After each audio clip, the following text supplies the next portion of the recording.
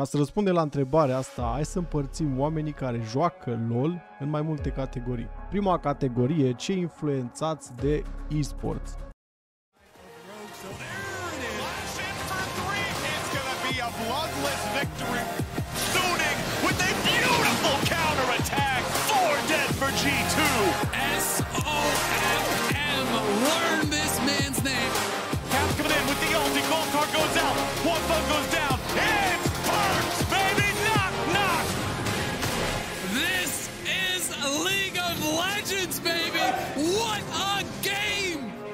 Cei care vă uitați la turnee, de câte ori nu v-ați găsit în situația în care vedeți un play foarte, foarte bun și imediat să-ți vină să te joci. Nu știu cum au făcut ei jocul ăsta, dar dacă vezi pe cineva că se joacă, mai ales că o face foarte bine, cum ar fi turneele, unde vezi pentaurile alea, scăpările alea super tari când aleargă 3 pe 1 și ăla cumva scapă, fie doar scapă, fie și bate unul din ei, fie întoarce pe toți trei și toți comentatorii. What the outplay faker, what was that?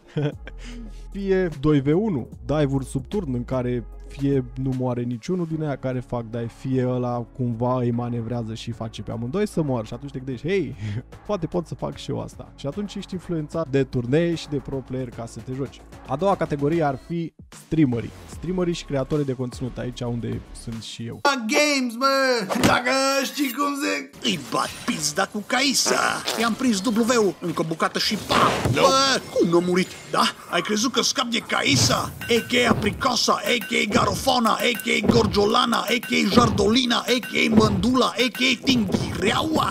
Flash Q și ți-am spart chifteaua.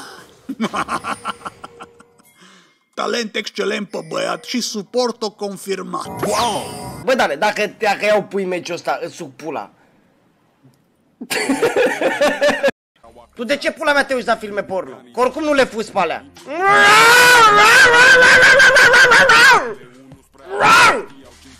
Mai zi ceva! Mai zi ceva, Bobit! Ținând cont că jocul ăsta are o masă foarte mare de oameni care îl joacă, să creezi content ca și gamer, să zicem, bazat pe League of Legends, e foarte comun. Pentru că jocul e foarte popular și e posibil ca tu jucându-te LOL să nu atragi pe cineva care joacă LOL sau auzit de LOL și vrea să vadă despre ce faci tu acolo. Oamenii care creează conținut cu League of Legends, cei care fac clipuri cu League of Legends sau stream zilnic. Efectiv sunt oameni care fac doar stream zilnic cu League of Legends fără să mai facă clipuri pentru că le place jocul atât de mult și se pot juca 10 ore în continuu. A treia categorie, mie categoria asta îmi place foarte mult și vreau să văd dacă sunteți de acord cu mine, ce influențați de muzică și animație.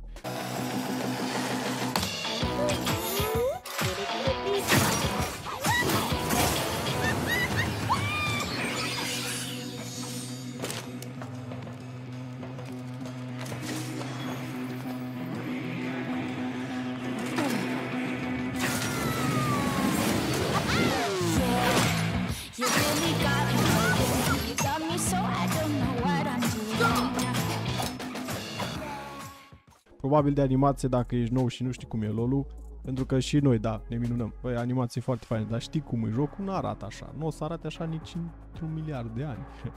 Dar gândiți-vă la ăia noi, care vin și văd trailerele astea noi și clipurile noi. Mai ales cum a fost ăla la Wild Rift, doamne, cum e clipul ăla cu Jinx de ea pe tot și duce să se bată. E extraordinar de bine făcut, gândiți-vă la ăia, zic, mamă, cum arată jocul ăsta. E un trailer, nu e un gameplay, nu o să arate așa niciodată. Dar, nevertheless, tot o să fie interesați și o să se joace jocul. Plus, și aici vreau să ajung, muzica. Muzica din League of Legends e prea epică, prea legendară, te hăipuiește de te ia, dragi. De câte ori nu v-ați găsit în ipostaza de a vă gândi? Mă, m-aș juca LOL, nu prea m-aș juca LOL. Nu spune că după ce a zis piesa asta, nu ți-a venit cheful să te joci LOL. Adică uite-te la omul cu șapcă. just for.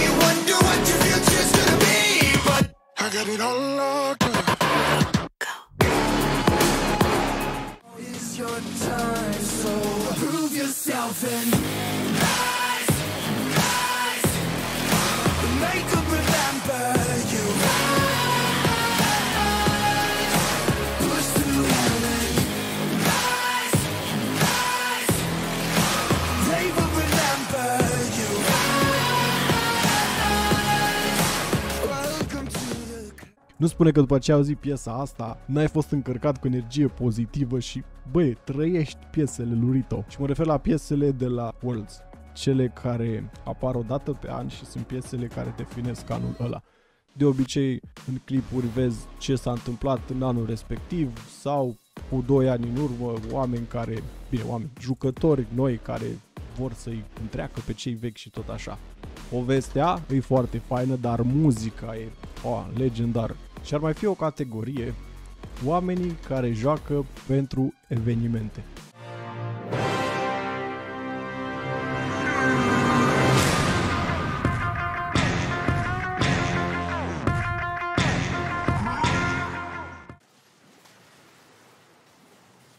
Bă, are și cu este să mor mă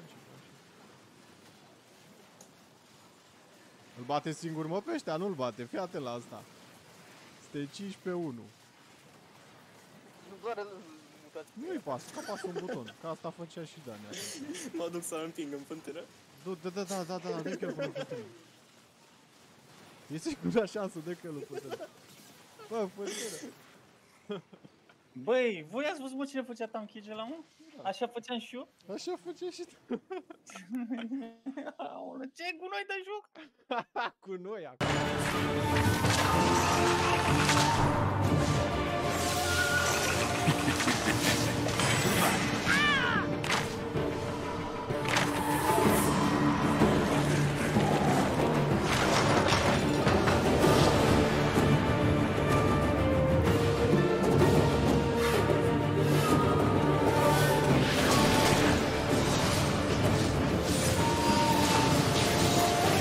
Oamenii care vin doar când se bagă urf, One for All, Blood Moon, care mie îmi place foarte mult, dar nu știu care e faza cu Rito, că nu mai vrea să-l bage, deși, deși Rito, dacă mă auzi, ai scos skin-uri cu Blood Moon, acum ceva vreme cu Trinda, Catarina, Mestării și pe cine ai mai scos, dar evenimentul nu l-ai băgat. Ai zis, hei, cu metre, hai să băgăm Nexus Blitz, dar Nexus Blitz m-am mai jucat, voiam să încerc altceva.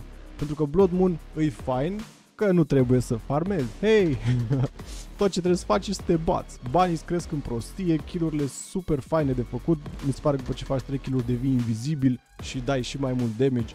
Ideea în sine e foarte faină.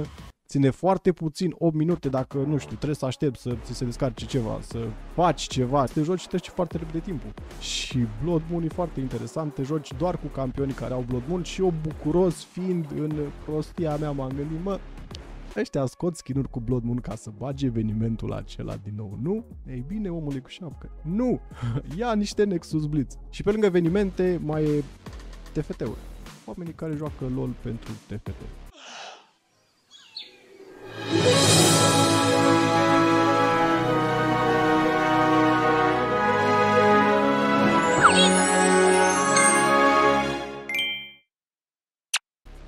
Și mie îmi place TFT-ul, mai ales când am, să zicem, am avut odată 25 de luzuri la rând, mi s-a luat de LOL și de echipe, doamne ferește. Bineînțeles că la TFT nu-ți trebuie echipă, te joci singur. Nu ai jungler, nu ai bot primei de pe vest Smurf care îți pică în 10 minute. În 10 minute, echipa adversă era inhibitorul tău pe bot.